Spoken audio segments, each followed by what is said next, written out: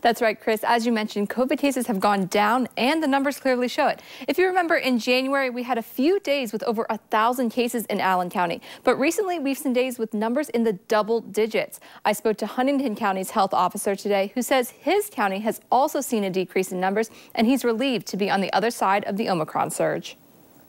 This is what we expected to happen. Dr. Matt Flieger in Huntington County says we are now on the other side of the Omicron surge, and this graph of cases in Indiana shows it a steep incline and a steep drop off for the seven day case average. Lynn Davis says even though she still went about her life as normal during the surge, she sees the decline as a positive thing. Very good thing, yes, it is. I'm sure, I'm hope it will ease a lot of other people's minds. Flieger says the number of hospitalizations and deaths with Omicron were not as drastic as they were with the Delta variant, and as a health professional, he says it's a welcome change change. Those things makes us go, awesome. Um, and so I think yes, we're moving to these this next stage of our response, which he says involves looking at taking protective measures on a case by case basis. We're at that stage where a person can start to make these kind of individual decisions as to what they need to do to help keep themselves safe and to keep other people safe. For example, he says in close quarters, especially for those who are high risk, it's a good idea to wear a mask. And it's especially important to wear a mask anywhere if you have cold symptoms